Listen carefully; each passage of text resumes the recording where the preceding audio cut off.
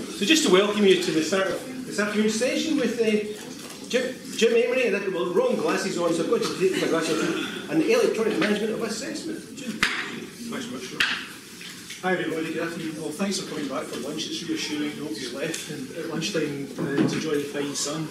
Uh, I know this is the graveyard shift and I know it's not a very exciting topic or headline, but what I'm going to take through is how GCU were handling the integration, integration grades, assessments with our VLE and with the student information system, and what we gained from it and some of the issues. Um, normally I've, I've um, demonstrated this live to give people an idea of what it's like, but because we only get 20 minutes, it's going to be a little slideshow, so get ready for that, and I've done some screenshots just to help you through it. Essentially, where I'm starting from is, um, obviously, I hope you're aware of the Assessment Life Cycle Centre um, that's been developed in conjunction with um, Manchester and Met University and obviously JISC. Um, most of the interesting work, the sexy work, for lack of a better expression, is uh, done with all this bit here, the creating part of the various types of assessments that can take place and help our students to feed back to us how they're progressing and help us evaluate our coursework and all that kind of stuff. But one of the big areas is this part down here, um, is how do we manage get influencing those grades? Because while a lot of work's done in the creation of electronic submission, assessments of different assessment types and so on, a lot of that's still fed back to students manually as a mark possibly through the VLE or um, automatically through the VLE or possibly from the student information system. But a lot of that's done manually, created manually and fed back manually. So we're doing all the fancy swish electronic development of assessment, but we're not necessarily, we're not any GCU feeding that back. So I just want to take through um, where we came from, what we're doing, some of the, and where, where, where we're progressing. This essentially is quite simple where we were about six months ago. We've got a student information system like SOUL, which, which we use for transferring all staff, students and words into our VLE. In our particular case, it's Blackboard. And down here we have a range of assessments. Some are run within Blackboard and some outside. Okay? But essentially, no matter what, all the marks, all the grades run back into SIS manually. That's it. Sometimes two or three different times. And that, you know, with, with, with all this sophistication we've got here, it seems nuts not to look at is there a way of doing it better, and that's what the project started, well, it started from, it began to address. These are some of the drivers. Um, student satisfaction, we we've got 21 days to return, that's in, um, 20 working days, sorry, to return all feedback to students. That includes marks. And it's quite important towards the end of the year, of the academic year, when someone are expecting to graduate want to know how we're getting on. The other issue is staff satisfaction. Staff are, are finding it really cumbersome uh, in getting marks across. Sometimes they have to enter marks two, sorry, compile marks and entries two or three different times, and it's frustrating. And the other thing, of course, is they leave it quite late to the very end so before assessment exam boards me, me just because the pressure of is there a better way of doing it. Well, what we found out, we carried out an analysis, is that we have program administrators who spend short notice, even overnight, punching in lots of different numbers into, this, into the student information system. And what we did was we found a rough analysis at a given point in, during the exam feedback period or exam marking period, with roughly 400,000 individual bits of data entered into the SIS. Now, with a three-week return and time, for example, it's a massive amount of work. So these people are really efficient doing this. The system might not be necessarily, occasionally the SIS will crash, and that adds to time. So these are all the problems. Um, so, but how can you be more effective in doing this? And that's another driver. And the last part was that PricewaterhouseCoopers were really concerned about data integrity about marks being misplaced, wrongly entered, all that kind of stuff. That, so that was about 18 months we produced that. So these are the sort of integration drivers we started off the project. Um, one approach to the project that started on marks integration, uh, sorry, marks development, was that the academic staff enter their own marks directly into the student information system. Now, the reaction to that, I'll leave you to decide what it's going to be like, but that was a no-goer, okay? The second one was we created, some, some colleagues created a, really quite complex paper in a digital age, a paper-based system involving downloading spreadsheets and copying stuff into fancy forms, and then taking the forms, and again, the program administrators will load the forms up into the student information system. So that was a kind of, can be, can that program, can that process be improved? Yes, it can be, but was it smart? Well, it wasn't very smart because it's still, although using some one, two digital tools like spreadsheet digital, it wasn't actually doing anything more sophisticated than, at the end of the day, somebody sitting punching in numbers. Okay, so that was one, one solution. The third solution is in fact as, as ISIS is our student information system, I'll come back to that later on for you. It's not to do with terrorism. By the way, IS is the name for information service departments. We have issues, IS, IS and ISIS, so we do have these problems. Um, although some people do refer to Blackboard as Daesh, so that's another issue. Um, so what we have here in ISIS, we have our, we have our, our assessment components, um, and just as we can transfer the modules, the staff and the marks into, into our VLE, what, what we've done is we actually can transfer the assessments as structured um, in, pardon me, in uh, student information system straight into Blackboard's grade centre, but whatever you use, feel free. Um, and then what, what then happens is, no matter what, we have different ways of entering module marks into there, and what then happens is that through, I'm using my colleague Sheila MacNeill's expression, auto-magically populates the student information system. That's what we're trying to do, and that's what we've been working on. And that came out, and that was the proof. This is where I came into it because if I sort of mentioned why I'm doing this other way. Blackboard has released, that's a early plan, has released this integration tool. So that then said, let's go with that. So we discounted colleagues, academic colleagues, typing number, numbers in, that was out the window. The other way is looking at this kind of paper-based and a sort of semi-digital system. But the smart way is this. If we can get the majority of our marks in this way, that's what we're trying to do. So what does that entail? This here is a view of the student information system with the structures inside. These are the areas which we get our structure format from, our assessment structure formats from CW1, CW2.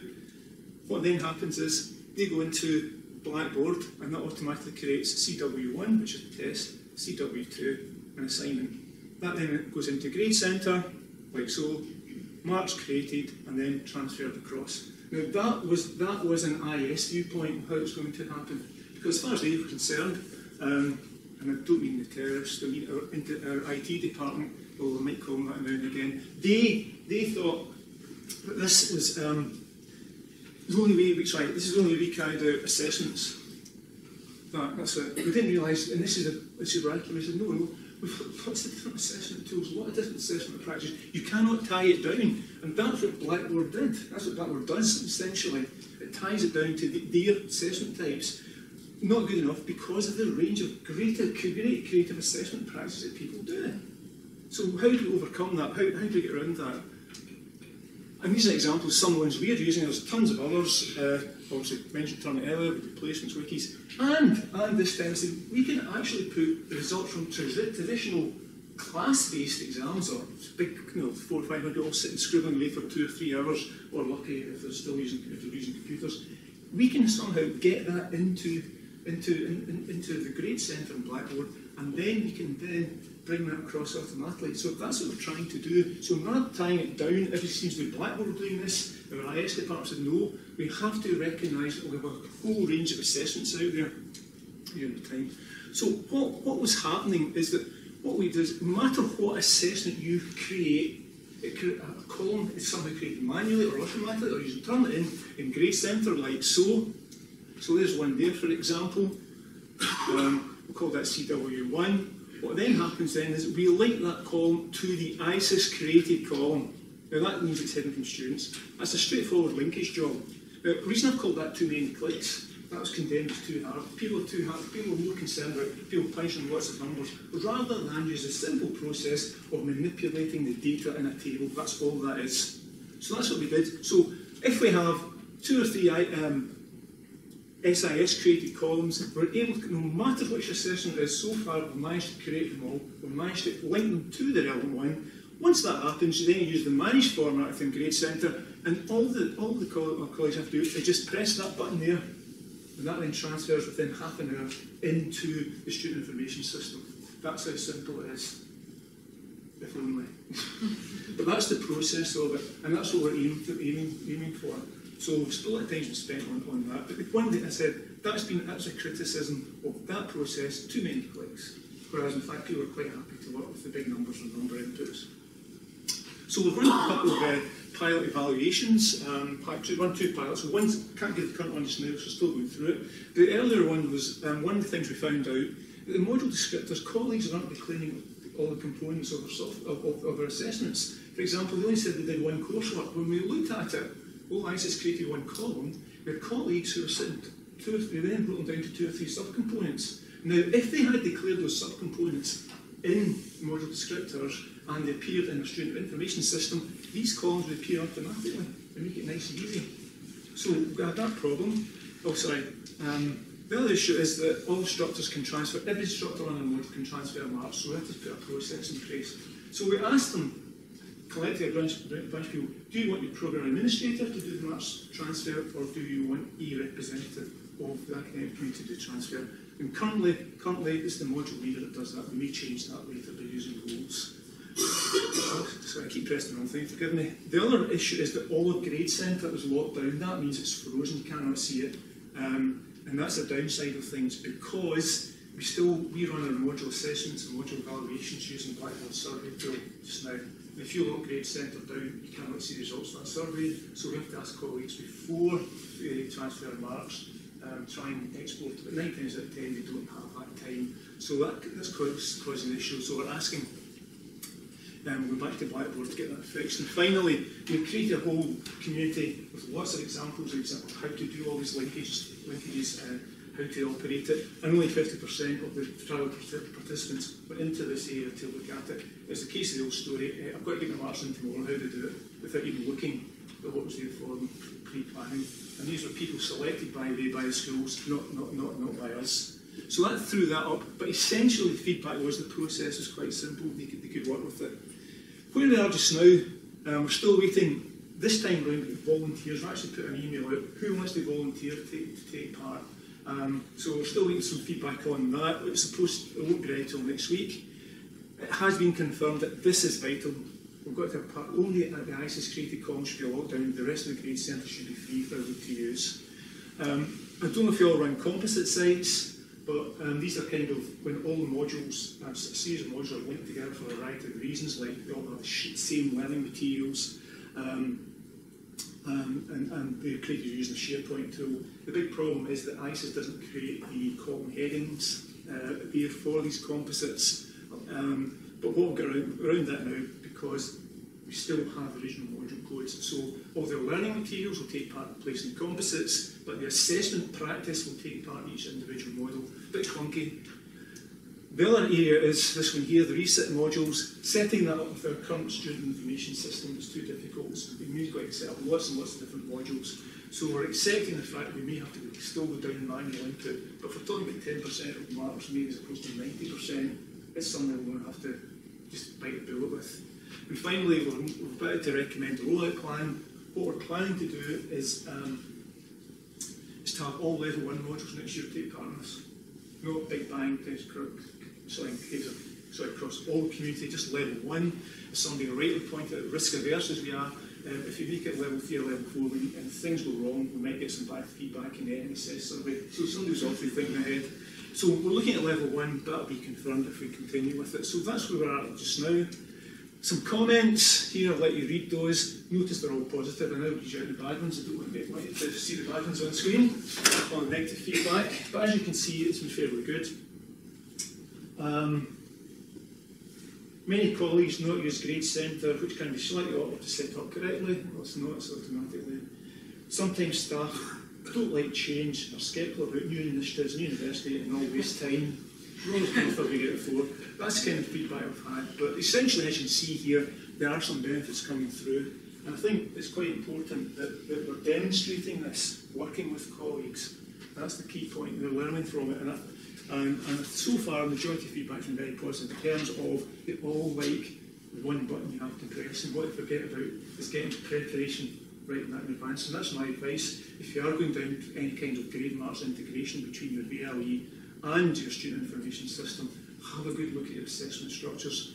We've, we've managed to capture as many as we can. We're not comprehensive on that, but I'd like to think that no matter the principle we're working on, if we can get the assessment structure into a grade centre in Blackboard, we'll be able to export it into the student information system. and the amount of time, hassle, effort, and the benefits that, um, that that means in terms of making exam boards, schedules, taking pressure off the programme administrators. They can focus on managing the results in the student information system. They can run their own rules. These are the kind of things we're aiming for. Linked to that, this is a statement that um, here I'll let you read yourselves, but this is the current overall context in which we're working. We're trying to move towards being a digital university. We stay a mix of manual, digital and analogue will not be a digital university. This, this is a tiny little step in that programme we're aiming towards. Okay, bit of a fly through, a bit of a rush, um, but hopefully that gives you kind of the idea of what we're trying to do as part of a bigger programme within GCU. And um, yeah, we're still going strong, so there'll be more next year on it, and uh, I'll, I'll update you. I will be blogging about it and keep you up to date. So, 25 time's up. Any questions? Just next.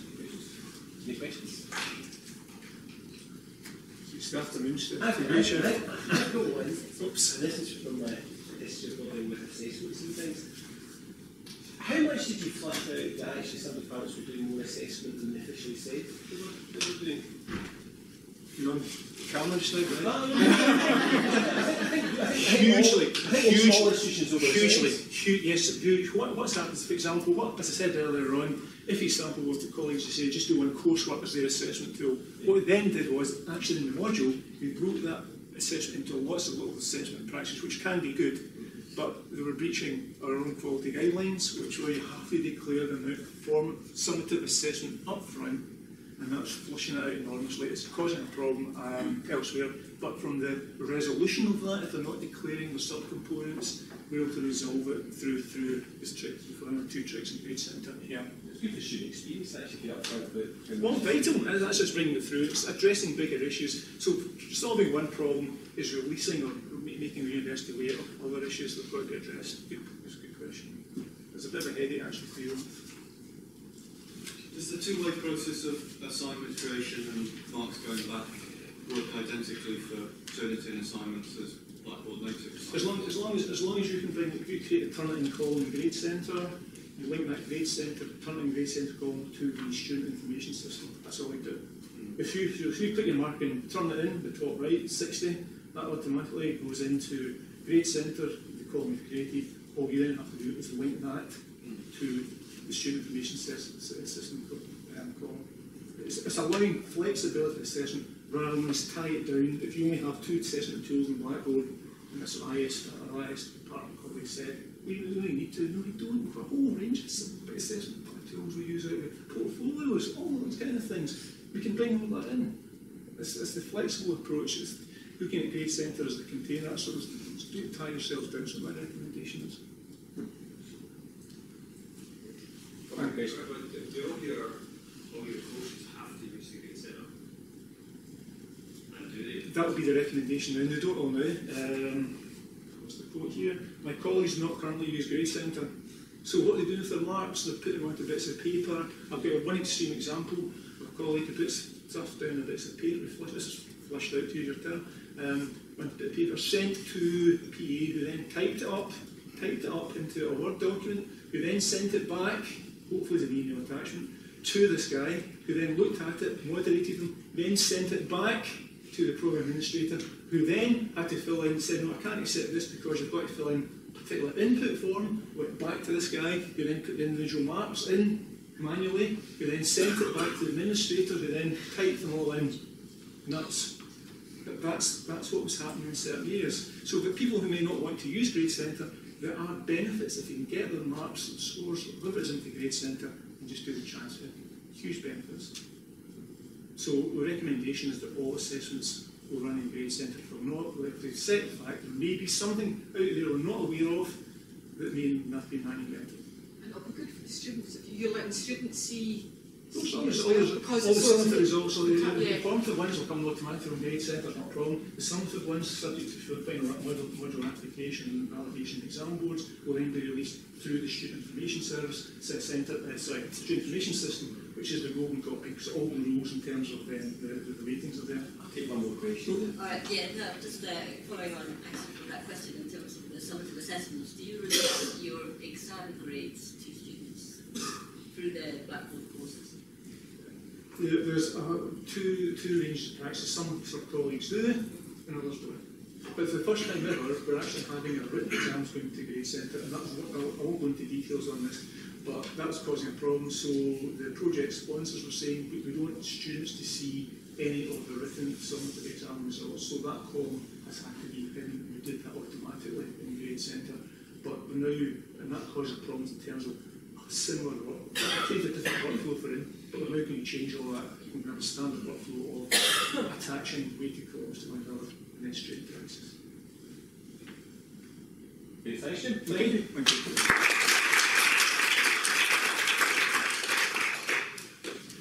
if you just opened up the reference taxi time, just let you know about how to chat with who's local taxi. Or like Chris, he drove them.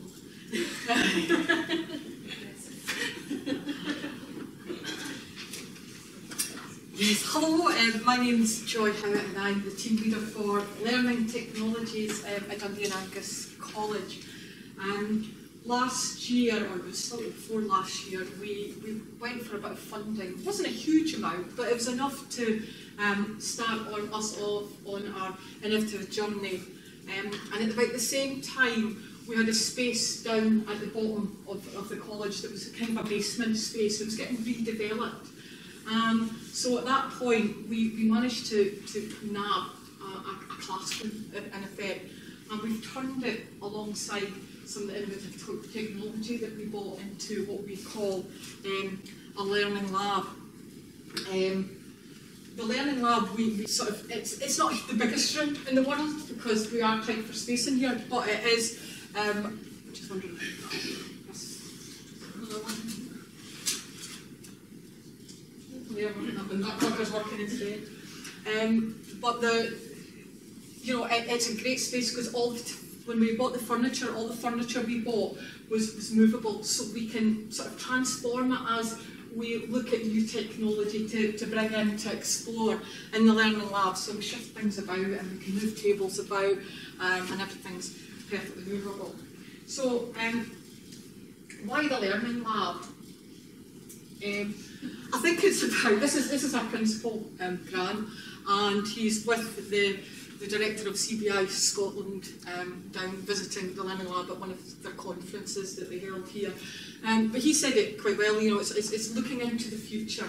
It's about you know, as a result, we've got a responsibility to let, look at the technology that's coming up. It's all around us. It's never changing. It's everywhere. It's from you know age this to to you know um, you know old age. Um, it's, it's just everywhere. So we need to really be starting to look around what's around the corner and how that helps us and how that impacts us. So the aim of the learning lab that we had was really to, to, to introduce users to, to innovative technology, right? To have a look around that corner, to see what perhaps could be coming. Now some of it, as you know, will, will, will drop off and it'll never go anywhere and then it'll rise up again. But um, we want to provide a space that would provide creative learning opportunities. A bit of a space to explore and play and learn and create and see where it took us. So, what's it to experiment with? What did we get? Well, apologise now, but I'm going to sound a little bit like the Gadget Show's prize fund. I'm going to have to read it. So, stop. We have six laptops, six iPads, two 3D printers, two Oculus Rift and Samsung Gear VR headsets, a structure sensor, an Xbox with Kinect, a Phantom 2 drone, a time-lapse camera, three GoPro cameras, a visualizer, live spec heads, Band, an interactive screen, and large ATX TV. I didn't mean that. Right. Wait, that's a prize. A prize. No, it's not prize fund. We're keeping it all.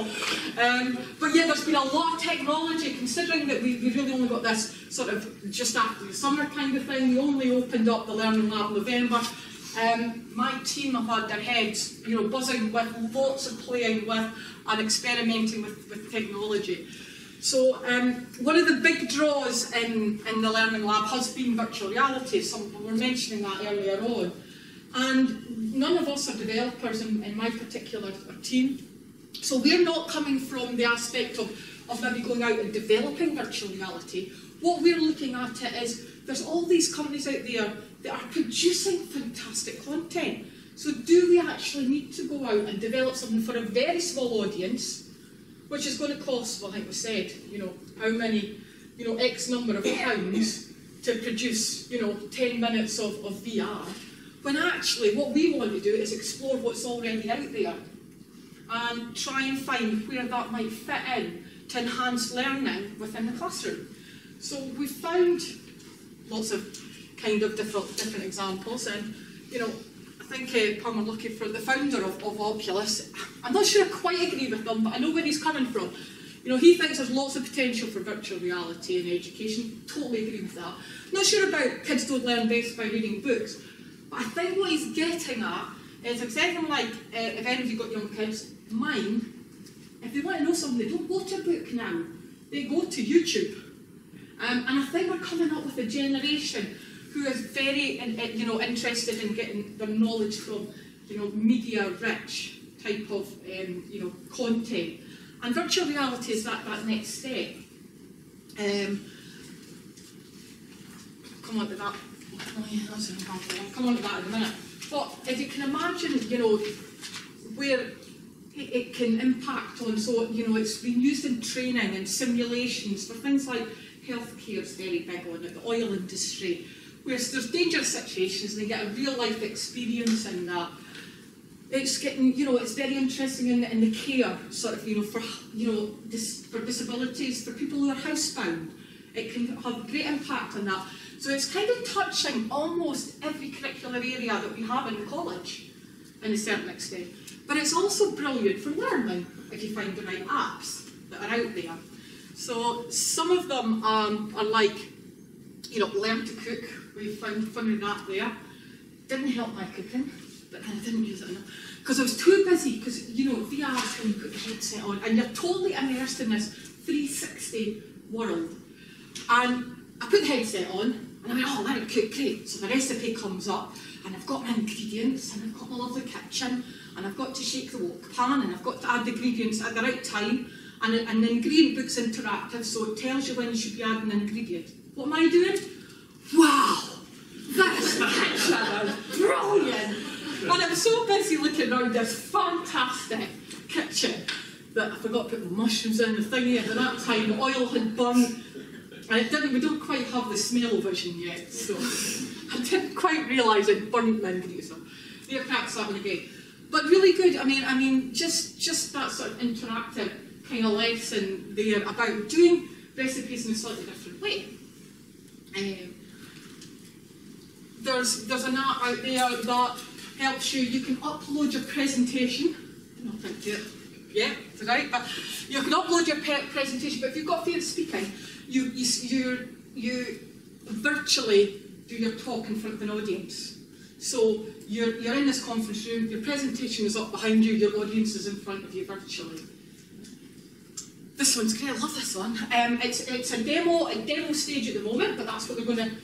That's what we're waiting on. We're waiting on it kind of coming out. Um, but do you remember that? I think it was about 1987, 1980s movie called Innerspace.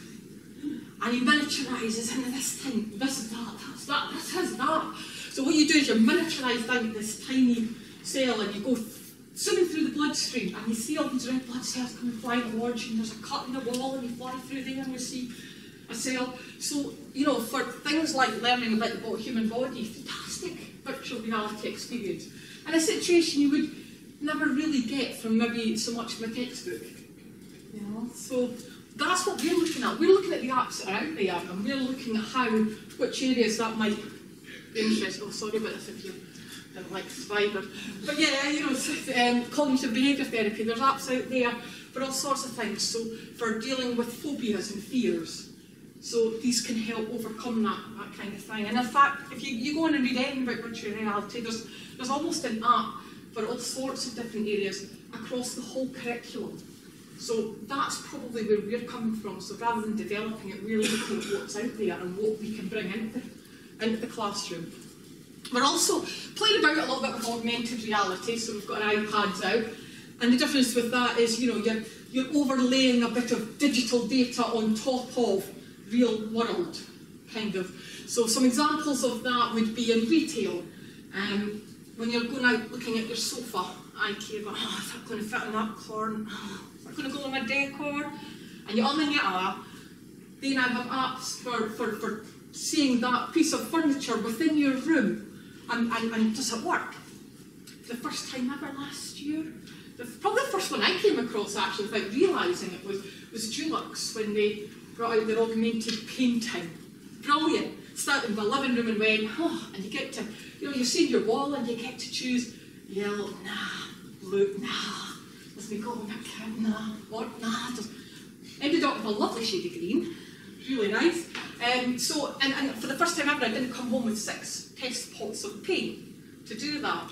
So it's moving into things like retail. Um, we're playing about with it. Some of the book textbooks ideas. So this is like a, a diagram on textbooks, but you, you overlay it with an iPad, and up comes sort of the human body. And it's sort 3D skeleton, and you can, you can layer it. So you can take that, that skeleton down to just down the skeleton, then you can add the muscles in, and then you can add the circulatory system, and then you've got the body. So all sorts of that. And we're playing with it for perhaps um, where there's limited access to computers in workplace, in workplaces. So in engineering, they might have a machine to use. They've given them a safety drill about how to use and what not to do. But Joe Bloggs is late, so in comes Joe Bloggs. And if we have a little poster up that he can use his app on, it can play the video.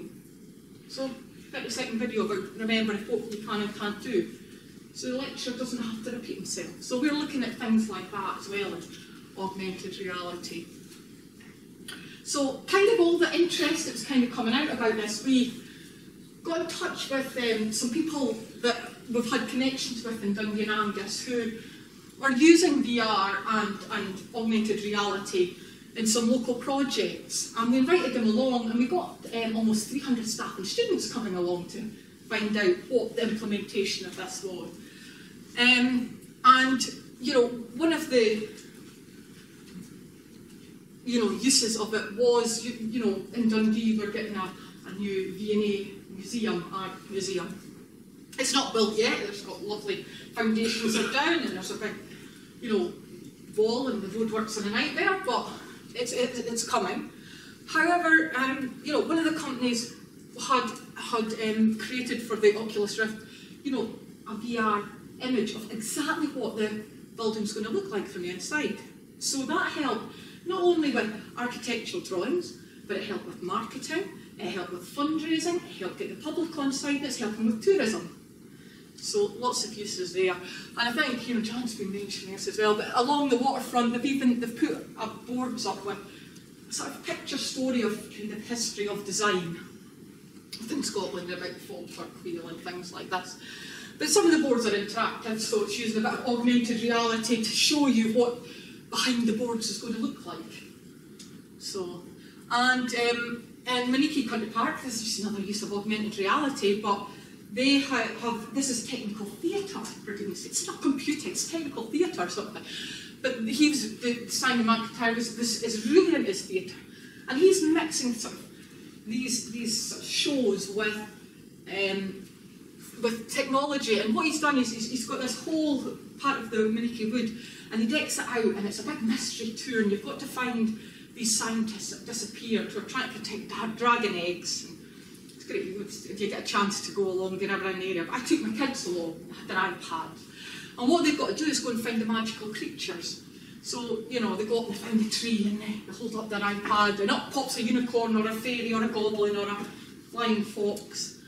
But yeah, so it's again tourism. The other thing we've got um, that's quite popular is, well, I like the 3D capture. So we've got a structure sensor which attaches to an iPad, and it's dead simple. We, can literally just walk around someone like this.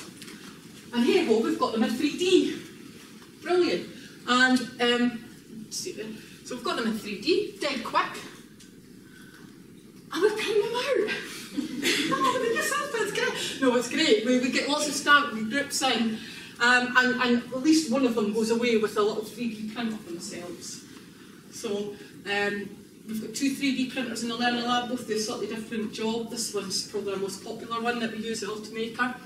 Um, but there's also sorts of other things that we find. We, we go on websites like Thingiverse and someone will ask us for something and we'll download and go, yeah, if it's on Thingiverse, we can print it for you.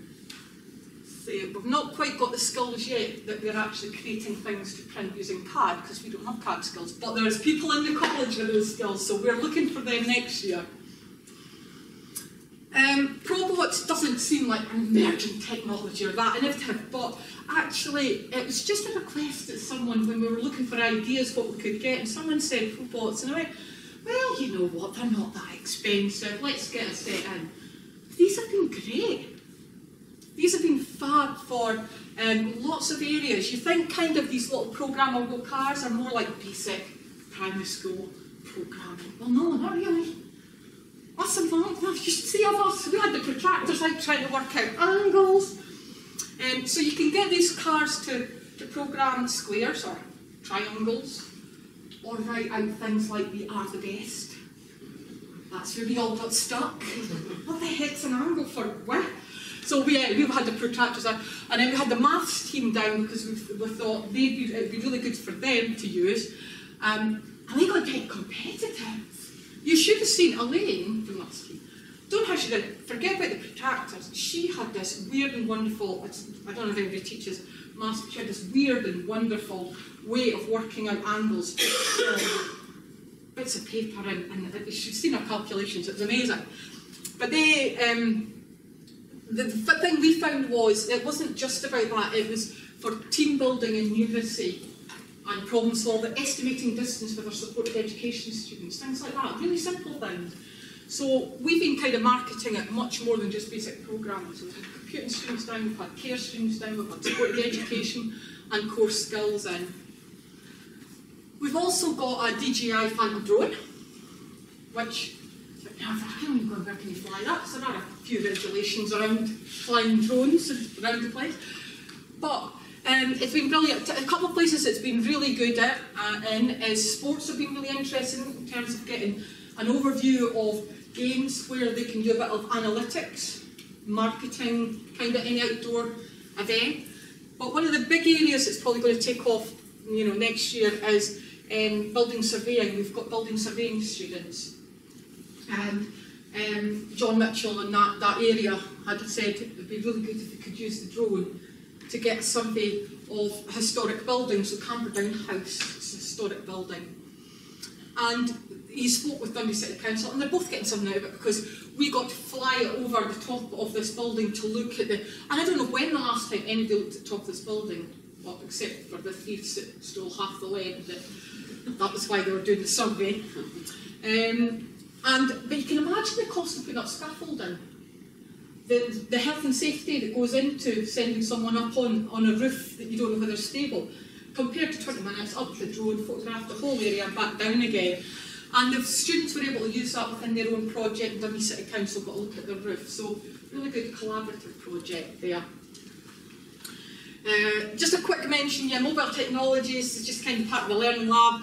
We've got a special interest group and we keep every now and again asking people what, what's, what they're using the mobile devices for. Uh, sports are using them really big and you know, using Hudl Technique, uh, looking at an analytics and video on what students are doing. We're doing it for things like quizzes and Nearpod and all those kind of things. So what's kind of, where are we now and what kind of feedback have we got? Um, we've got amazing feedback. See students that come in, they just, they, they, they love it from the first part of, of walking in and going, oh wow, because it's of like a classroom with desks and tables and chairs and a blackboard kind of thing. It just looks a bit different, it's got all these cool technology. Um, and I was in the other day and, and uh, someone, I heard, I, I heard this, this first thing the student came in and went, wow, man, this is sick. And I was like, I've heard enough Joey Essex that thing. Wink. That means it's good. but yeah, no, they go, they, they go, they go out actually really buzzing from it, and that's what I think looking at new technologies about. You know, it's looking at something I haven't tried. Um, I don't want to be responsible for the number of probably VR headsets that were requested at Christmas time just when you opened the doors. We did try to say there are cheap cardboard versions for, for less than a tenner. But what next? I think, you know, what we've had is really six, seven months of introducing technology. We've delivered over, our team ourselves have delivered over 60 hours of introductory sessions into this kind of technology to spark kind of interest from the curriculum and interest from students and to, you know, to enhance that learning. And we invite staff now to come in and use the Learning Lab as a learning space, to use the technology so that we don't have to get a set of virtual reality goals for every curriculum area. They can come down and use that space. But um, even so, you know, art and design now have their own, uh, purchased a 3D printer and are going to be embedding 3D printing in some of their courses. Computing are changing their programme this year because they want to be able to do programming in Unity for virtual reality. HN, Animation and Design are now taking it these to you know develop 3D sort of environments, but they now want to take it to the next step and introduce virtual reality. Building services want to create a unit on drone surveying. So that are already in that short seven months pockets where actually we're going to start to see some of this get embedded in the curriculum. And we're going to set up special interest groups because for all that my team have been enthusiastically trying to sort of upskill themselves in all these areas, what we actually want is lecturers from out the curriculum and we want students to get involved in these groups to come up with some projects that actually do some, something quite meaningful. So that's probably our next next step. And then we'll look at the next set of new technology that we can we can promote. So um, one of the things I don't know time wise where we're at, but um, one of the things we wanted to do was let you get a chance to have hands-on um, some of our uh, technology.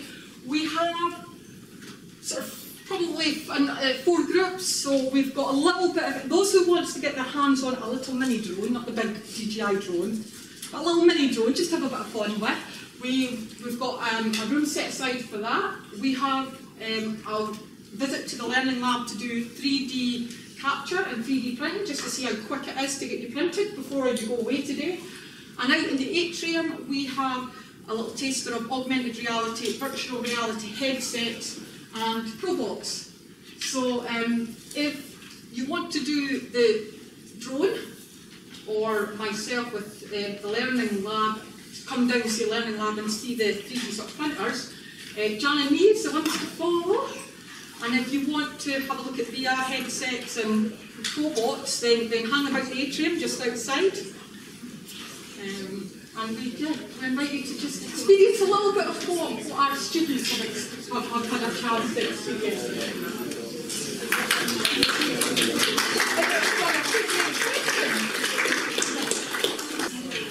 Hi folks, really just the, the penultimate session. Uh, Lorna is going to have a chat about, are you going to do both topics, Lorna? or? No, I am going to be talking about Open Dot Ed and then I'm passing to Susie. So it's two of you looking at you Yeah. could- I'll let you lead off. You can do the- Thanks, Joe. Uh, my name's uh, Lorna Campbell and I work at the University of Edinburgh, um, where I am OER liaison for Open Scotland. Um, and I'm going to be talking today about um, supporting um, engagement with learning technology through open education um, at the University of Edinburgh. And then what I'll do is I'll pass it over to Susie. Um, there was going to be another presentation from our colleague um, Fiona Hale, who was going to be talking about um, learning design at the University of Edinburgh, but unfortunately she couldn't make it here today. Um, so, um, earlier this uh, year, the University of Edinburgh launched a new strategic vision which outlined where the university is at present and where it intends to be in 2025. Central to this vision is increased provision of world-leading online distance learning.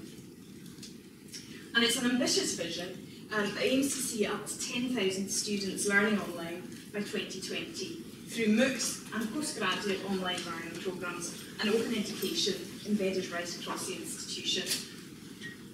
Now, I'm not going to talk about uh, the MOOCs or the online master's programmes per se today. What I want to focus on is how the university is supporting engagement with learning technology through a range of open education initiatives and particularly focusing on open educational resources. So the university has a vision for OER, um, building on three strands. The history of the Edinburgh settlement, excellent education and research collections, and traditions of the Enlightenment and the university's civic mission. The university has established uh, an OER service that will create an OER exchange to enrich both the university and the sector and to provide support frameworks to enable staff to share OER created as a routine part of their work and to enable staff to find and use high quality teaching materials developed both within and without the university. So it's very much about openly licensing existing teaching and learning materials already used within the institution.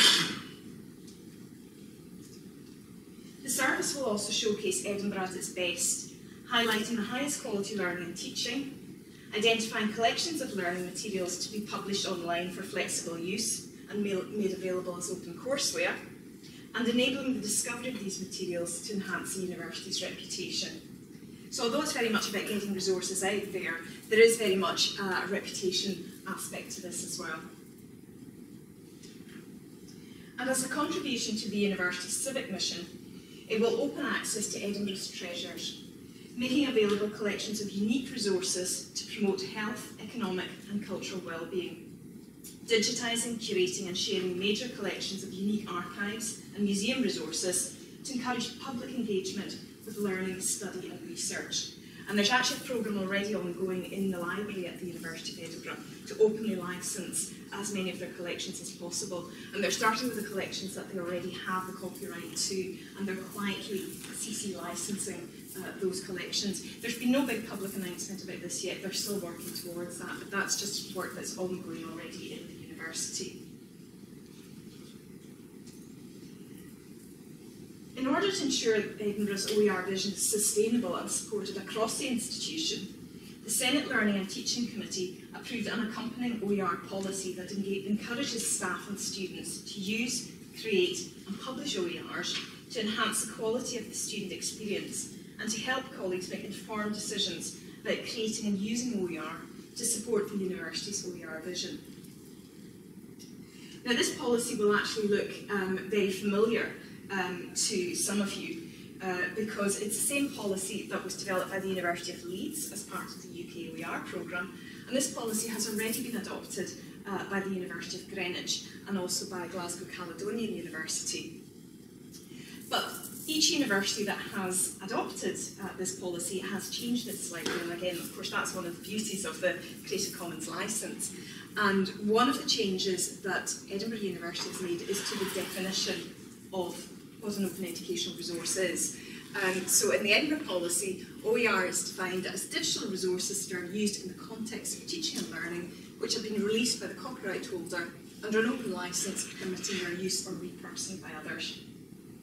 And what's interesting about this change is it focuses more on the context of use rather than the type of resource. So it's basically anything that could usefully be used in teaching and learning can be considered as an open educational resource uh, if an open licence is applied to it. And of course this means that it also encompasses cultural heritage resources.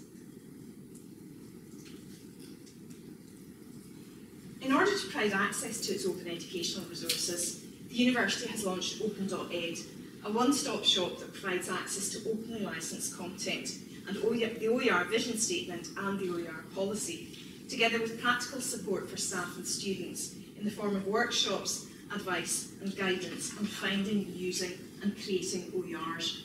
And there are a number of staff associated with the OER service at the university um, who are there to provide help and guidance and who run these workshops and training events. Um, I should add that Open.ed isn't actually a formal repository, um, it's basically just a WordPress site. And what it's doing is it's aggregating content from other collections across the university um, the reason for this is this is a very new service. Um, so rather than go down the route of investing in an actual OER repository, uh, the university has decided just to aggregate what's already there for the time being and make it available through this WordPress front end. This may change as the service develops, but at the moment, uh, what you see is really a very simple WordPress interface.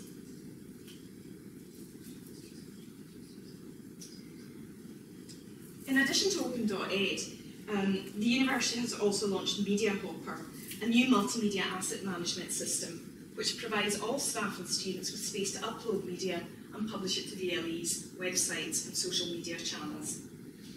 Not all the content in Media Hopper is open licence, but we've suddenly got currently got some uh, student interns working to develop feeds to pull out the open license content that is in Media Hopper and feed it into open.ed.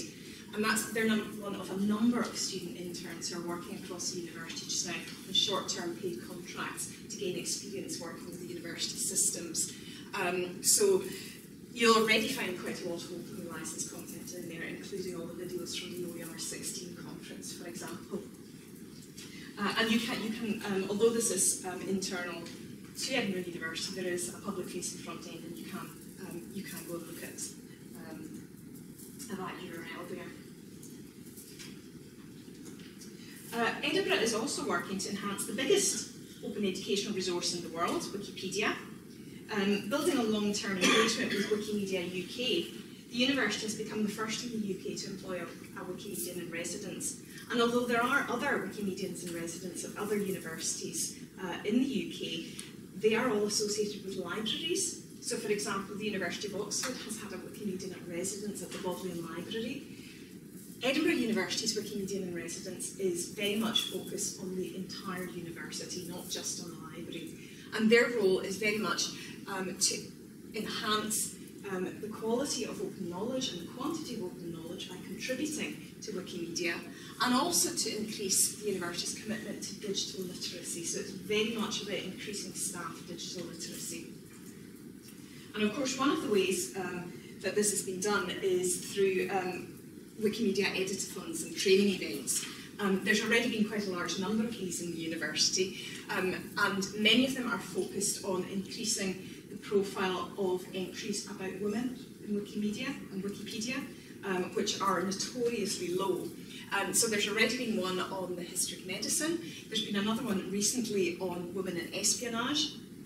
Uh, there's already been a number to coincide with Ada Lovelace Day. And this year we can uh, also look forward to two editathons to coincide with the Day of the Dead.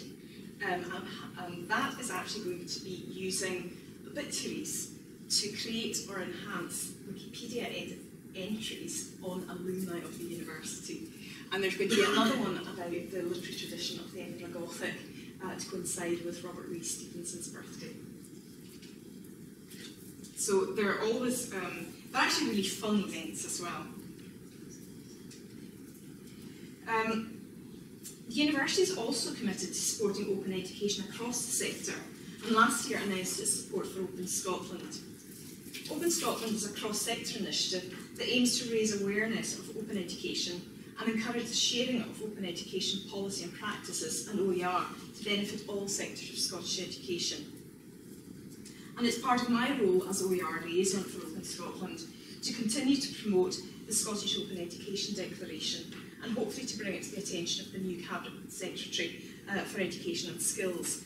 Now, the Alt Scotland SIG has been instrumental in supporting the work of Open Scotland um, and we've tried several times in the past um, to bring the declaration to the attention of the Cabinet Secretary um, and Linda has contacted both Angela Constance and Mike Russell in the past about the declaration um, and we got a fairly positive response from Mike Russell.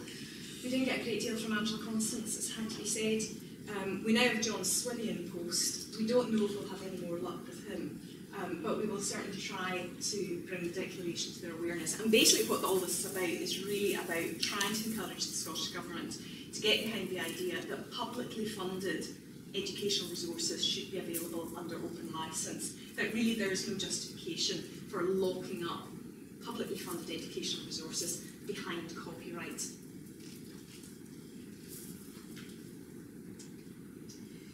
And of course, last but, not least, um, last year we were very privileged uh, to host, last year, earlier on this year, it seems like such a long time ago now, we were very privileged uh, to host the OER 16 Open Culture Conference um, at the university. Um, this was the seventh um, OER conference, but the very first one in Scotland. Um, Joe Wilson and I were at the first OER conference in Cambridge seven years ago, and uh, while we were listening to John, uh, Sir John Daniel giving his keynote, we were kind of elbowing each other, saying, "It'd be great to do this in Scotland." It took us seven years to manage to do it, um, but I have to say, um, I think it was a big success. It's the biggest OER conference to date, Um, I think next year's will be even bigger, it's growing year on year. Um, but we had a really, really enthusiastic response. I think we had 180 delegates, 117 sessions. Uh, delegates came from, I think, 29 countries. Um, and we had um, five keynotes that really encompassed the whole sort of breadth um, of the conference. The focus of the conference was open culture, and we had keynotes from um, John Scally, the National Librarian of Scotland. We had another from Professor Emma Smith, who's the Professor of Shakespeare Studies at the University of Oxford, and who's very well known for her open podcasts. We had a keynote from uh, Catherine Cronin, who asked the question about what it means to be open in a very personal sense. Um, we had a keynote from Melissa Highton, who is the Director of Learning, Teaching and Web Services at the University of Edinburgh, who spoke from the institutional perspective of openness. Um, and we had a keynote from Jim Groom, um, who is best known from uh, DS106 and EduPunk and um, Reclaim Hosting fame. It's a really eclectic bunch of keynotes and we've got a very, very positive response to them. So there's a lot going on uh, to promote um, open education across the university. Uh, so just briefly to conclude, open education has been used as a key driver to encourage and embed engagement with education technology right across the institution. The University of Edinburgh's vision for open education provides a strong foundation for developing a sustainable model for online education at scale, encouraging engagement with learning technology and OER within the curriculum, and improving teachers' and learners' confidence and digital literacy with regard to teaching and learning online. In addition, this affords the university a valuable opportunity to scale up its community engagement, to disseminate the knowledge created and curated within the institution to the wider community, and to help shape conversations about the role of learning technology and the future of open education in Scotland. So open education is very, very much being used as a driver to encourage this engagement with technology across all parts of the university. So I'm going to stop there now, and having spoken about some of the drivers from the university, I'm going to pass over to Susie, and she's going to talk a little bit about how we can enable staff to really get engaged. Uh, and Susie's going to be talking about um, the university's uh, programme to encourage CMALT registration, accreditation. Okay, thank you.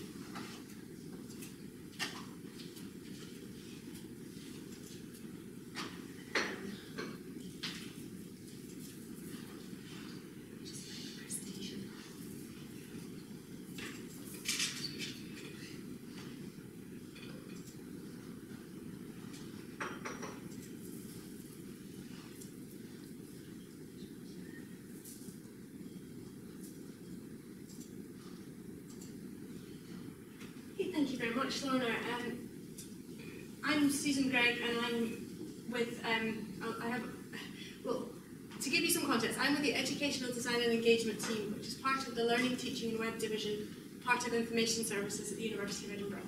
So my placing of my job title maybe gives you an idea of the scale of the in institution that I'm working for.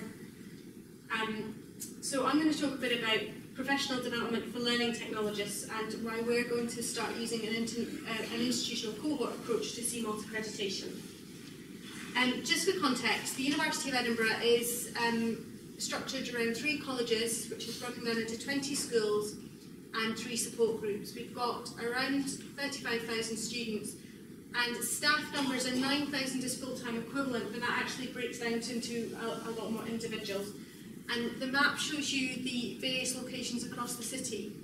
So just to give you the flavour that we're big and we're devolved and we're not, a lot of us aren't co-located. Um, so when I, oh, I was tasked with looking at this piece of work to look at um, accreditation learning technologists. So the first thing I did was try and get a picture of how many learning technology staff there are at the university, and I'll speak a little moment uh, in a moment about the drivers we have at the University of Edinburgh. And so I'm using um, learning technology as a bit of a shorthand for learning technology and online learning development posts. So to get an idea of the number of people in, in these type of posts, I started looking at um, job titles um, on our website. So a search for learning technologist brings you up a few people.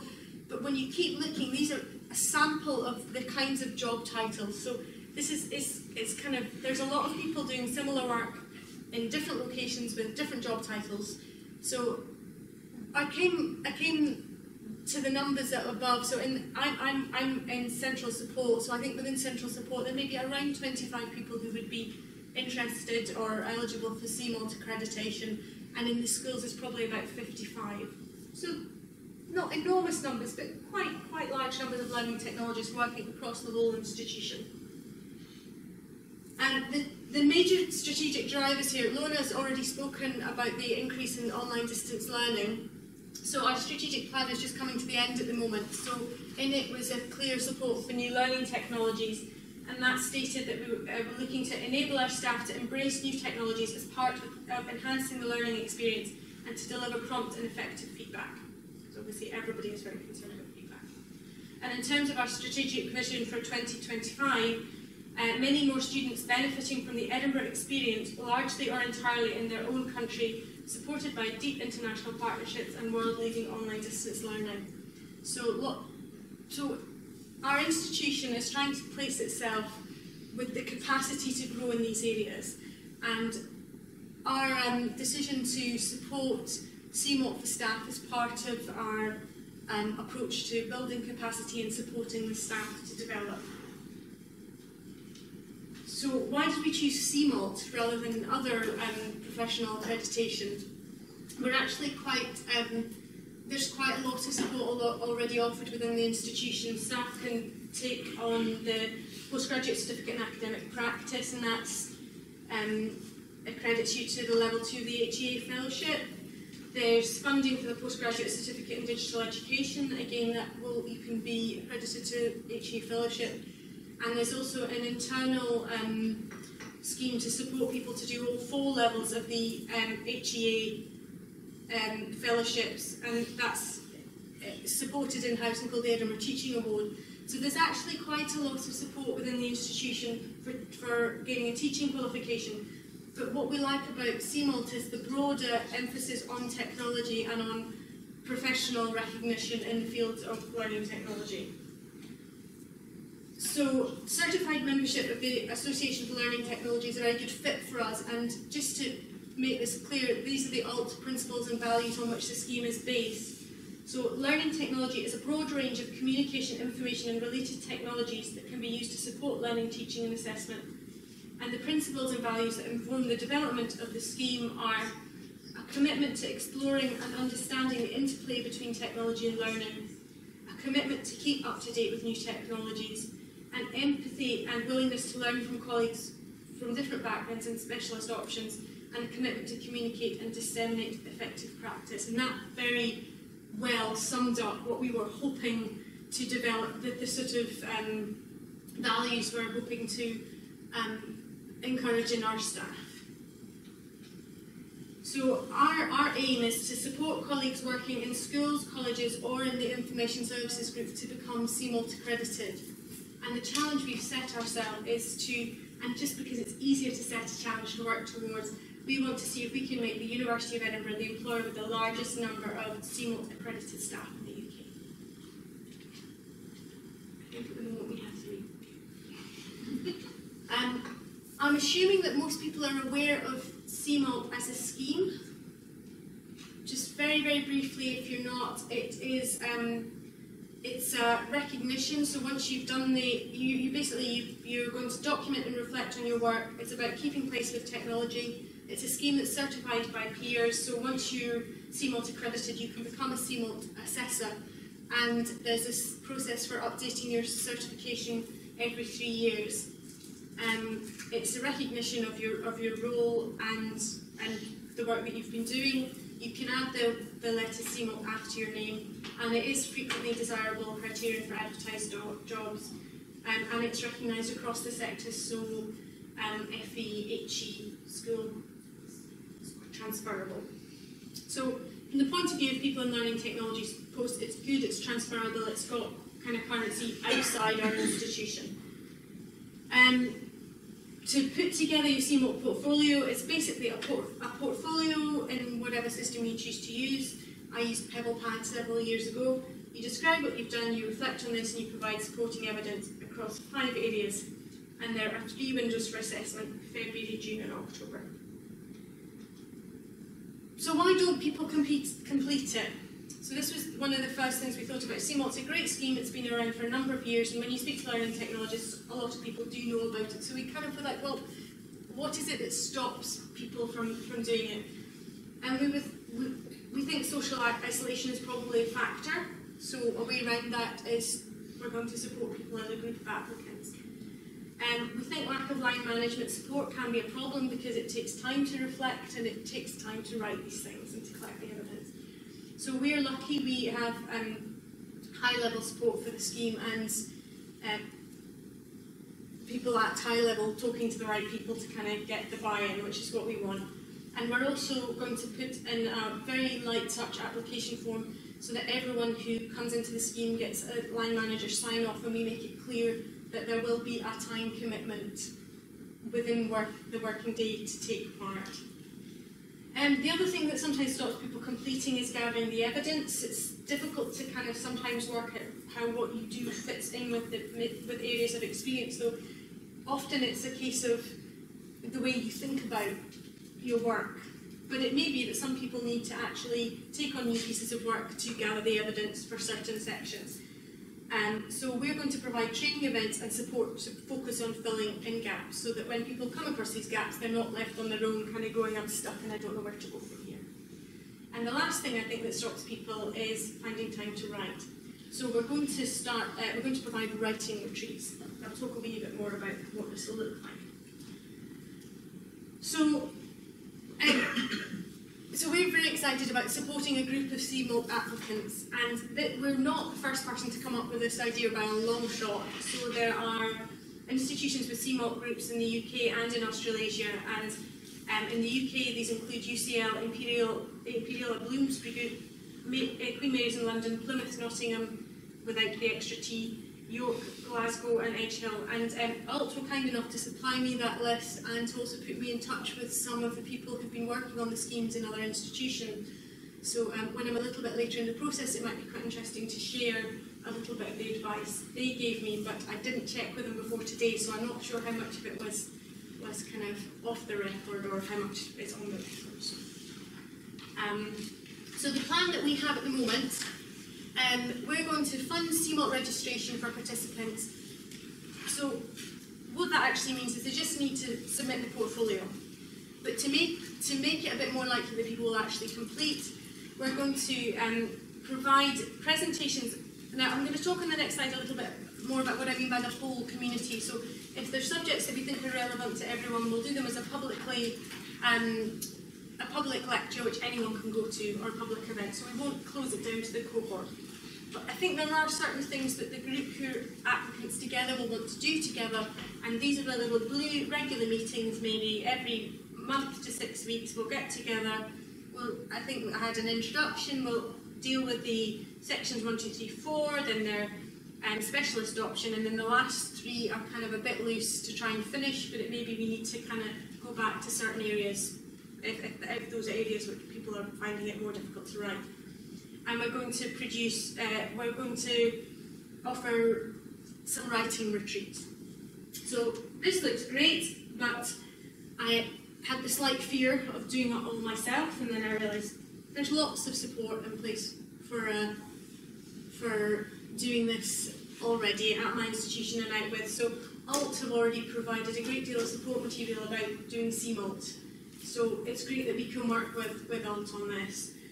Um, at the University of Edinburgh, we're very lucky. We have a quite well established community called the e-learning at Ed community, and this is a cross-institution grouping of learning technologists, learning um, technology practitioners, people who are just interested. It's very much open mailing list, open invites, and uh, every year they do like a big university um, e-learning conference. So basically, we don't, we're, what we're trying to do is feed into a community that already exists. So when we're going to do the presentations to the whole community, we'll do them within within that, that bigger um, organisation that already exists. So at the moment, the, the subjects we know we're going to be looking at are, for example, openness and copyright. So we have experts that we can invite to speak about these things. And records management is another aspect. And part of this will be helping people network and make connections within the expertise that is already available within the university. Because when you come into work at the university, if you're based in a school, maybe out of the central area, you, it can be, it, it, it might be years before you realise there are people in rec- records management you can run ideas past. You can just have a chat to them about, we're thinking of doing this, does this have any implications that we need to think about? Um, and it's much better to meet them at these kind of meetings than, you know, a bit down the line if they're pulling you up on something they're not so happy about. Um, so the educational design and engagement team that I'm involved in will provide what I would describe as ongoing support and general cheerleading. So there were some great ideas in the session earlier about timelines and regular emails, and that's exactly the kind of thing I'm wanting to think about. And then within the university, our Institute for Academic Development has expertise in facilitating and supporting writing retreats, so we're hoping to work with them to organise the writing retreats with staff. Okay, so um, I've, I've presented this at, at an early stage. We're planning on starting our scheme in August, so if you've any questions about what we've got in mind or any suggestions, that would be greatly appreciated. Thank you. And also, if anyone is doing anything like this where they're adding an institutional wrapper onto another, um, an external accreditation scheme, that would be really interesting to know. How many people have you got signed up as institutions? Um, 17 interested, but I haven't got the applications out yet, so I, I'm, I'm interested to see how much of this translates once I need to get the paperwork through my management support. What kind of cost is it to put someone through? It's £150 per, per applicant, but if you have a cohort of more than 10, there's a 20% discount. So we were quite keen to get above the 10. There's a, also a ten percent discount if you get five. I'm going to put Kenji on the spot because I don't know the answer. Uh, There are five people that um, CDN currently sponsor who are doing CMALT um, across colleges in Scotland. and it's, And we have another five places that we we will be offering um, to members within Scotland's colleges. and you, and you, I didn't know if the role going, that's why I was, that's why I was asking. And are you, are you offering any support to them around completing, or are you funding them, or? We're hosting uh, a, a group of, of the Scottish Learning Technology Network, Okay. and within that, we intend to embed some of the CMOs for um, similar to what you're suggesting. Yeah, I, I, di- I didn't mention it. One of the things that the educational design and engagement team do is they have a, mo- we run a monthly meeting for learning technologists, which is a kind of showcase event. And one of the things we want to do is embed this within that, so that people who aren't doing CMALT right now are aware that other people are, and that they, it might be something of interest, or just could cherry pick the bits that they are interested in. Because it's all around, you know, um, networking and community building, rather than CMALT is kind of a little bit of a vehicle for us. Listen, thanks very much. Nicholas. Thank you. questions from here. Any- questions for two speakers?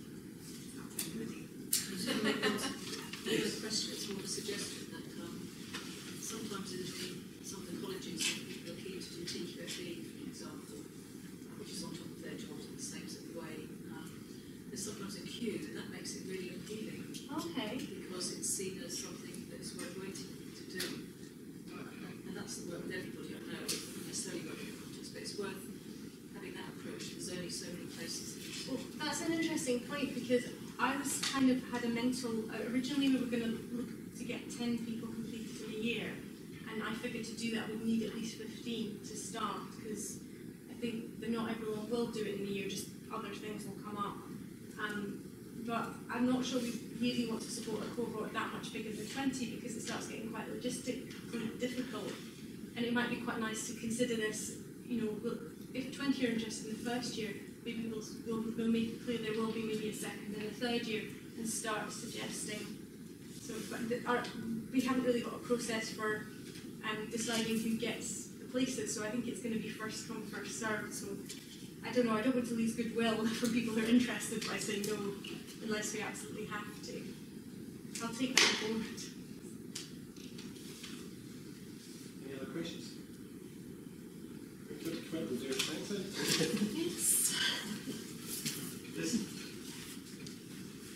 Thanks I've got happy sitting taking notes all, all, the time the sessions. I had that privilege of not speaking about anything, but just, just sucking in lot, lot, lots of really, really, really useful stuff. And uh, I'm just so impressed by the, the secretaries here. So, I mean, it's, it's just, you can see how, how engaged you are, and you can see how engaged all your students and staff are, are, are with it. So it was great to come to college so the universities can see that colleges do this too. And, what, what, we really need is, is, that, and that's why I think also important as a, as a, as a bridge uh, between, between, between, the, between the two sectors. Uh, I think also more so, and it wasn't really drawn out, the, the procurement framework landscape that we're, that, that, that, we're, moving, moving, we're moving towards, uh, the bit that hasn't been mentioned at all is shared services. And to me, that that's the next logical thing, that as we move up into the cloud, uh, yes, you have to protect your student data and all these other bits and pieces, but actually there's better value to be gained around some of these things and actually actually sharing, sharing a platform. And this is heresy, a platform that might not be in an institution, it might actually sit out on the cloud, it might be a service that you, you buy. But the only way we're going to get to that bit for learners is if, the, if, if universities and colleges actually actually work together and speak together and are confident uh, that, that, that we, we, we, we can carry this, this technology. It's okay, that's fine. Um, we said we finish at quarter two, so I don't want to say very much, but just thanks to everyone for coming. And a huge thank you to Jan and her colleagues at the Dean Angus College for hosting us and putting on such a fantastic display of, of the innovative things they're doing. So thank you very much.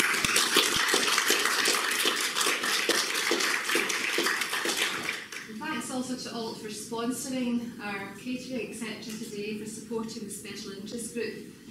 And just to repeat again what um, Martin mentioned earlier, if you're not already a member of ALT, if your organisation isn't already a member of ALT, please look at it and encourage your organisation and also individually if you want to join. It's not that expensive, it's about £50 a year or something. So it's, it's really worth it to be part of the network.